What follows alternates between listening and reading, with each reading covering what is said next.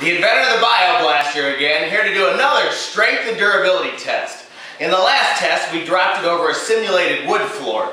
In this test, folks, we're going to use bare concrete.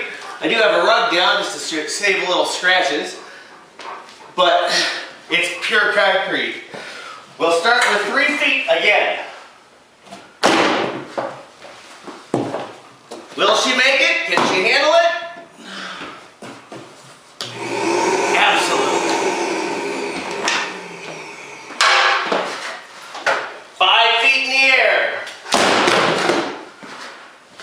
Can it take it? Can it handle it?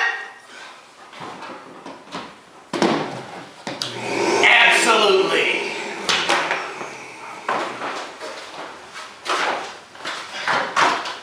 Eight feet in the air, folks.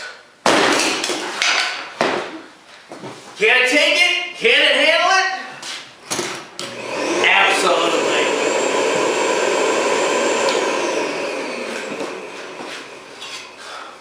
We lost the end cap, but the machine survives. Attached. Just to prove it, untouched.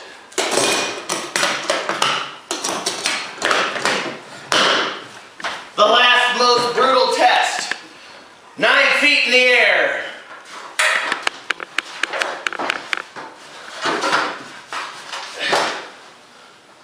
Should I try it, Eric? Yes.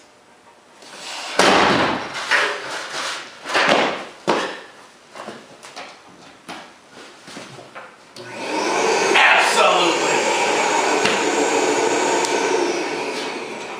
The Rugged Pro, the best, toughest ozone machine in the world, capable of withstanding a fall from nine feet.